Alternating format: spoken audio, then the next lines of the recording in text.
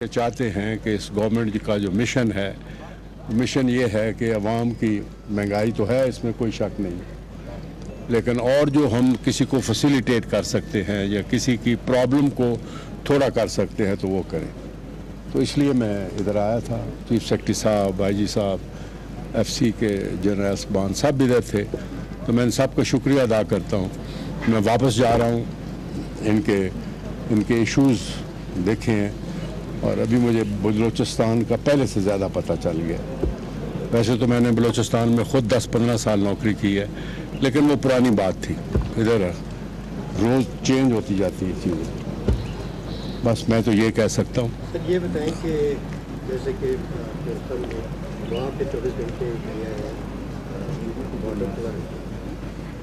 کا بھی دیکھیں وہ بھی اسی لیے کیا ہے کہ تاکہ لوگوں کو فیسیلیٹیشن ہو۔ جو تورخم میں کل پرائم منسٹر صاحب نے ٹوئنٹی فور آورس اس کو کیا ہے۔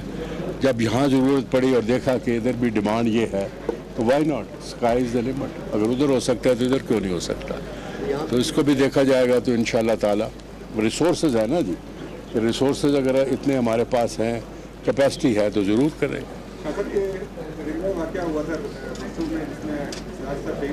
کون جی؟ پچھلے الیکشن میں جو واقعہ ہوا تھا جس میں سراج الرفائی صاحب شہید ہوئے تھے اس میں انڈیا کے ایجنٹس کی یہاں موجودگی کے بارے میں اطلاعات ہیں۔ تو اس اطلاعات درست ہیں اور آپ نے اس سلسلے میں کوئی رابطہ کیا ہے کہ انڈیا سے بھی یہاں ایجنٹ کیسے موجود تھے؟ یہ آپ نے بڑا ایک اسٹریٹجک سوال کر دیا ہے۔ دیکھیں یہ ایک بڑی سائنس ہے آج کل کے زمانے میں کہ کسی دشمن ملک یا کسی نیبر ملک میں اگر آپریٹ کرنا ہو تو ضروری نہیں ہوتا کہ ہم اپنے بندے ہی بھیجیں۔ ٹھیک ہے اٹ از ویری انفارچونیٹ اور اس میں آپ نے یہ سوال کیا ہے میڈیا جو ہے نا آج کل میڈیا تو فورتھ پلر ہو گیا ہوا ہے۔ تو بجائے اس کے کہ ہم سارا دن لوگوں کی غلطیاں نکالتے پھریں، یہ ہو گیا، یہ گند پڑ گیا، یہ ہو گیا، یہ ہو گیا۔ ہمیں چاہیے یہ کہ ہم لوگوں کو ایجوکیٹ کریں۔ ہمیں چاہیے یہ کہ ہم اپنی سوسائٹی کو ایجوکیٹ کریں۔ کہ انڈیا یہ کر رہا ہے، کرتا ہے، کرے گا۔ اس کے لیے اس کو کوئی بندے بارڈر سے تو نہیں نہ آتے۔ وہ ہمارے جیسے ہی بھائی ہوتے ہیں۔ جن کی سروسز وہ جو ہے وہ لے لیتے ہیں۔ میں اس سے اس سے زیادہ میں نہیں کچھ کہا جاتا ہے کہ جی یہاں انڈیا کا وہ وہ موجود ہیں اور انڈیا نے کیا ہے۔ وفاقی کوئٹہ میں وفاقی وزیر داخلہ اعجاز شاہ میڈیا سے بات چیت کر رہے ہیں۔ اس میں ان کا کہنا تھا کہ بلوچستان کے بارے میں وہ پہلے سے زیادہ جانتے ہیں۔ انہوں نے بتایا کہ اس سے کافی عرصہ پہلے وہ یہاں پر نوکری کر چکے ہیں، لیکن اب حالات مختلف ہیں۔ عوام کی سہولیات کے پیش نظر پاک افغان سرحد چوبیس گھنٹے کھولنے کا فیصلہ کیا ہے۔ حکومت کا مشن عوام کو ریلیف فراہم کرنا ہے۔ جو آپ کے کشمیری بھائی ہیں، جن کے ساتھ آج میرا خیال ہے چالیس دن سے زیادہ ہو گئے کہ ان کو ادھر کرفیو ہے، روٹی نہیں مل رہی، پانی نہیں مل رہا، دوائیاں نہیں مل رہی۔ تو بجائے اس کے کہ ہم ان کے ساتھ یکجہتی کا اظہار کریں اور ایک یونائٹڈ فرنٹ دیں۔ اب مجھے پورا یقین ہے کہ مولانا فضل الرحمان صاحب کرنا نہیں دیں گے۔ مجھے پورا یقین ہے۔ کیونکہ اس وقت ملک کے ہمارے حالات ایسے ہیں۔ وہ تو خود دس سال رہے ہیں کشمیر کمیٹی کے چیئرمین۔ تو میرا میرا خیال ہے وہ نہیں کریں گے۔ سر اپوزیشن دیکھے اپوزیشن خورشید شاہ کو گرفتار کر لیا ہے دونوں پارٹیاں واپس نہیں مل گئی تو بڑا منصوبہ ٹف ٹائم دینا چاہ رہی ہوں گورنمنٹ کو اور کیا کہتے ہیں کس طرح ہینڈل کریں گے؟ ابھی دیکھیں اگر آپ ایک کرائم کرتے ہیں تو آپ کو پکڑے جائیں تو آپ ٹف ٹائم دیں گے۔ اگر ایک ایک بندہ کو غلط کام کرتا ہے آپ کا آپ کی اولاد لیٹر سے وہ اسکول نہیں جاتی آپ اس کو بلا کے اس کے ساتھ کو اس کو ٹف ٹائم دیتے ہیں اسکول بھیجتے ہیں، تو کیا آپ ڈریں گے کہ نہ دوں نہ جائے اسکول یہ کوئی ایسی بات نہیں ہے۔ ٹف ٹائم اس میں ایسی کوئی بات نہیں ہے۔ روٹین لائف جو ہے وہ چلتی رہتی ہے۔ پنجابی کا محاورہ ہے نا، جنہ کھا دیا گاجرا ڈیڈ ہونا دے، پیڑ۔ ٹھیک ہے جب نہیں آتی تو کسی سے سمجھ یعنی لگانے کا بڑا سیفٹی پروجیکٹ تھا، وہ پچھلے کوئی پانچ سات سال سے چل رہا ہے۔ اتنے عرصے میں تو چائنا میں سو پل بن جاتے ہیں۔ ہمارے یہاں سیفٹی پروجیکٹ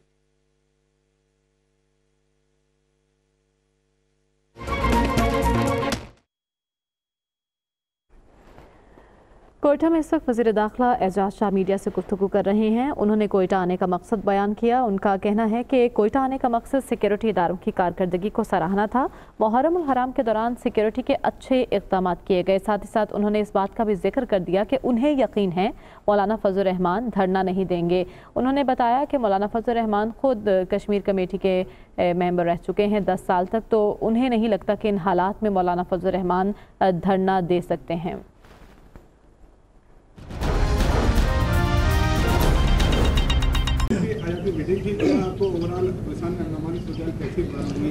بہت پہلے سے بہت بہتر ہے سر. ٹچ ووڈ اللہ خیر رکھے، پہلے سے بہت بہتر ہے. آپ خود پتہ ہونا چاہیے. دیکھیں، میں یہی تو کہتا ہوں کہ please for heaven sake try to be a positive اس میں کوئی شک نہیں ہے کہ جو میڈیا ہے دس از میڈیا کا یہ کام نہیں ہے کہ لوگوں کو مکھن لگائے. نو no. اگر کوئی غلط کام کرتا ہے ایونٹ رپورٹنگ بھی آپ کا کام ہے غلط کو بھی آئیڈینٹیفائی لیکن اگر کوئی اچھا کرتا ہے تو اس کو بھی کرے. انکریجمنٹ ہوگی. سر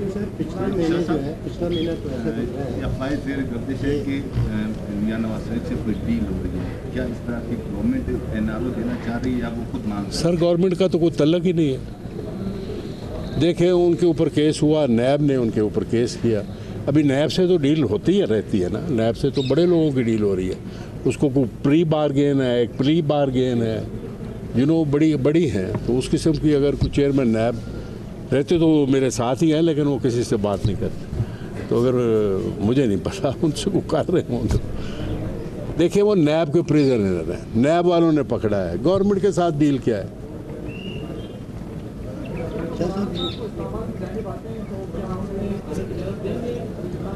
وہ روز آتے ہیں پرسوں بھی ادھر سے۔ ڈرنے کے لیے کوئی وہ ہے؟ میں نے کہہ رہا ہوں نا جی پرسوں بھی ادھر تھے۔ دھرنے کے لیے ہی از موسٹ ویلکم آئیں۔ ڈیموکریسی یا دھرنا دیں۔ لا اینڈ آرڈر ہاتھ میں نہ لیں۔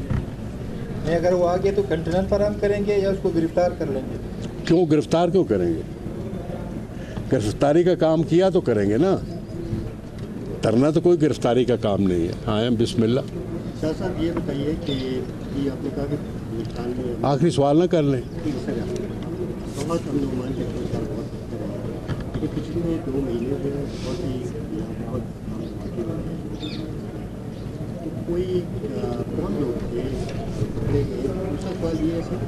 کہ اس وقت سب سے چل رہا ہے۔ پولیس ہے پولیس کی طرف سے جو اس کے سلسلے میں اس کی روک تھام کے لیے آپ کیا اقدامات وہ پولیس رسپانس کی باتیں بھی ہوئی نہیں دیکھیں، پہلی بات تو یہ ہے کہ لا اینڈ آرڈر کا اچھا ہونا دس از اے ریلیٹیو ٹرم جب بھی آپ لا اینڈ آرڈر کی بات کرتے ہیں کہ جی کرائم کیسا ہے، آپ خود اس چیز کے وٹنس ہیں کہ بلوچستان میں الحمدللہ، پچھلے مہینے سے، پچھلے مہینے سے اداد و شمار میں مت جایا کریں میں نے ابھی ان کو بھی بتایا ہے کہ جی اتنے کیس رجسٹر ہوئے، اتنے کیس فلان ہوئے، اتنے کیس نہیں۔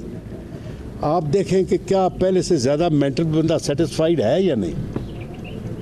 سمجھیں نا؟ اوبرا میرے خیال میں یہ ہے کہ پہلے سے ہماری سچویشن جو ہے، اتنے چیلنجز کے باوجود ریسورسز نہ ہونے کے باوجود اتنی فورس نہ ہونے کے باوجود ہماری پہلے سے سچویشن بہتر ہے۔ ایک تو یہ بات۔ دوسری، آپ یہ جو ریفارم، پولیس ریفارمز کی بات کر رہے ہیں، اس میں بھی دیکھیں اسکائی از دا لمٹ بائیس کروڑ عوام ہے میں ہمیشہ کہتا ہوں، اور آپ بھی یہ سوچیں، دیکھیں، برائی جس دن انسان بنا تھا نا، تو برائی تو شروع ہو گئی تھی۔ سچائی، اچھائی اور برائی تو اس وقت شروع ہو گئی تھی۔ ایشو یہ ہے کہ آپ کو لا انفورسنگ گورنمنٹ کا ریئیکشن دیکھنا چاہیے۔ ایک برا کام تو ہو گیا۔ برا کام تو کبھی کسی نے روکا ہے؟ کہیں روکا ہے؟ کتنے قتل ہوتے ہیں؟ کتنے امریکہ جیسے ملک میں، پڑھے لکھے ملکوں میں ڈیولپ ملکوں میں، اسلامی ملکوں میں، جہاں سیر اتار دیتے ہیں وہاں، جہاں ہاتھ کاٹ دیتے ہیں وہاں، برائی تو ہوتی ہے نا وہاں۔ لیکن ایشو یہ ہے کہ ریاکشن دیکھیں۔ اگر تو گورنمنٹ کا ریاکشن ٹھیک ہے، اگر تو خدا نخواستہ کو مریض ایک ہے، کوئی انجرڈ ہوا ہے، تو اس کو کوئی ایسا ارینجمنٹ ہیں کہ اس کو ہاسپٹل لے گئے۔ دیٹ مینز اٹس گڈ ایک آدمی مار کے بھاگ گیا، اگر اس کو پکڑ لیا دیٹ مینس گڈ ہاتھ پر ہاتھ دھر کے نہیں بیٹھے۔ تو یہ دیکھیں کہ آپ نے، آپ کا ریئیکشن کیا ہے۔ وہ ہمارے پاکستان ملٹری اکیڈمی میں ایک کوٹیشن لکھی ہوئی ہے۔ میں آپ کو وہ سناتا ہوں تو اس کے بعد آپ سے اجازت لوں گا۔ جو پاکستان ملٹری اکیڈمی کے کمانڈر تھے، ان کا نام تھا کرنل اینگل۔ وہ برٹش تھے۔ تو انہوں نے لکھا ہوا ہے، ایک ہال ہے اس کے اوپر۔ انہوں نے لکھا ہوا ہے it does not matter how the things happen یہ میٹر نہیں کرتا کہ ایک بات ہو گئی ہے۔ It matters how you behave when happen ایک میٹر کرتا ہے کہ جب وہ واقعہ ہو گیا، آپ کا ریئیکشن کیا ہے؟ وہ دیکھا کریں۔ اگر ابھی فار ایگزامپل آپ نے دو تین دھماکوں کا بات کر دی نا۔